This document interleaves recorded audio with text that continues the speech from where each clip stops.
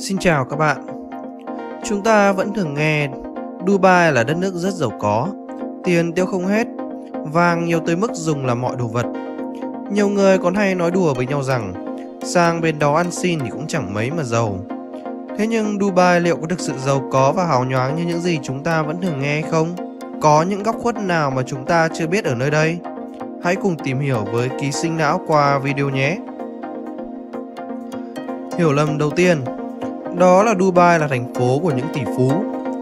Đây là suy nghĩ của đa phần mọi người sau khi được thấy rất nhiều hình ảnh và tin tức về sự xa hoa từ thành phố này. Trên thực tế, chỉ có khoảng 20 tỷ phú sống tại Dubai trên tổng số 5.000 tỷ phú tiền đô trên thế giới. Và thành phố thực sự là thủ đô của những người giàu có đó chính là Bắc Kinh của Trung Quốc Đứng thứ hai là New York của Mỹ. Thứ hai, đó là về việc không có người nghèo Dubai. Điều này cũng hoàn toàn là một sự hiểu lầm khi theo các số liệu. Có rất nhiều người sống ở mức nghèo khó tại nơi đây.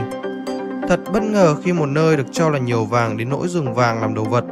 Cảnh sát thì đi siêu xe lại có nhiều người nghèo đến như vậy. Mức lương trung bình của một công nhân tại đây là 200 USD, trong khi chi phí sống tại đây thì lại rất đắt đỏ. Một gói cước thuê bao điện thoại đã ở mức 30 USD, rất nhiều người phải sống chen chúc trong một căn phòng nhỏ do không có tiền thuê nhà. Ngoài ra, tình trạng thất nghiệp nơi đây cũng là khá phổ biến.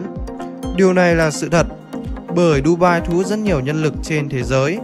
Thế nhưng luật nơi đây lại yêu cầu tất cả những người nước ngoài không có working visa thì sẽ bị trục xuất sau 30 ngày.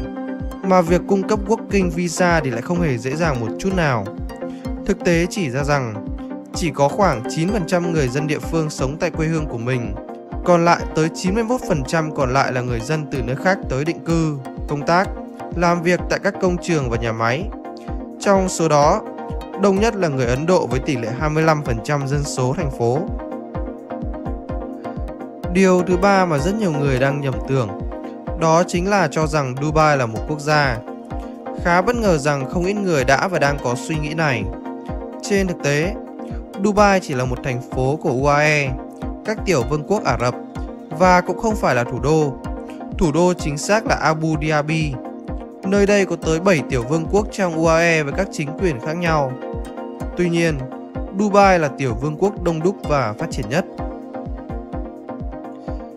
Tiếp theo đó là về việc không được uống đồ uống có cồn tại Dubai. Nơi đây chính xác là nơi sinh sống của những người theo đạo hồi và rượu là thứ bị cấm sử dụng Tuy nhiên, đối với những khách du lịch và những người không theo đạo hồi thì vẫn có thể uống chúng. Thế nhưng để có thể mua đồ uống có cồn, bạn cần một tấm thẻ đặc biệt hoặc hộ chiếu để chứng minh mình là người nước ngoài và không theo đạo hồi. Bạn có thể thưởng thức rượu, bia, cốc tai trong phần lớn các khách sạn, hộp đêm và các quán bar. Thông thường, các khu vui chơi này đều nằm trong các khách sạn và có khoảng 500 nơi như vậy ở Dubai. Con số này là khá ấn tượng với một thành phố theo đạo hồi. Một hiểu lầm nữa đó là vấn đề về thời tiết và sinh thái tại nơi đây. Nhiều người sau khi xem các hình ảnh vẫn nghĩ thời tiết tại Dubai nắng vàng rất đẹp. Thế nhưng trên thực tế, Dubai sở hữu khí hậu sa mạc nên rất khô và nóng. Vào mùa xuân và mùa hè, nhiệt độ có thể lên tới 48 độ C. Không khí nơi đây cũng không hề trong lành như những gì chúng ta vẫn thấy. Do sự gia tăng liên tục của dân số, tốc độ xây dựng chóng mặt thiếu nguồn nước sinh hoạt và biến đổi khí hậu, nên nơi này hoàn toàn không thể trở thành một trong những thành phố sinh thái. Bầu trời hiếm khi xanh trong mà phần lớn có màu ghi xám bởi lượng lớn bụi trong không khí.